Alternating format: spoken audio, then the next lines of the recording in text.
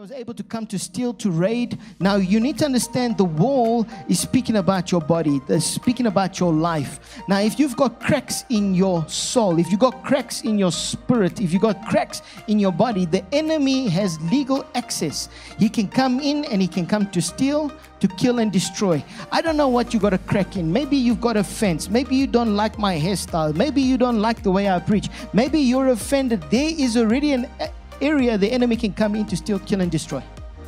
Because there is a crack in your wall which should be protecting you.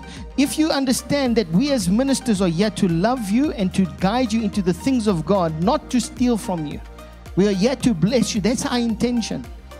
Amen. So now, if you've got certain things in your life where the enemy now can come in to steal, to kill, and destroy, he will continue to steal. And this is why you find certain people cannot advance.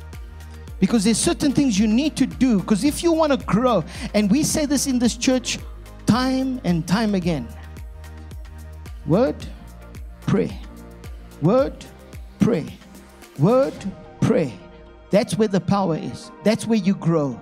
You see, if you know God has called you into a certain office, you need to pray into that office. You can't just say, okay, God's called you to be a pastor. Tomorrow I get uh, business cards and I decide now I'm going to start a church. No, you got to pray it in.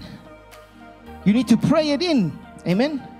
Okay, if you don't want to, if you if you want to advance in life, I promise you the key is pray. See, most people are weak because of prayerlessness. You see, the enemy does not want you to pray because if you are praying, you are charged up.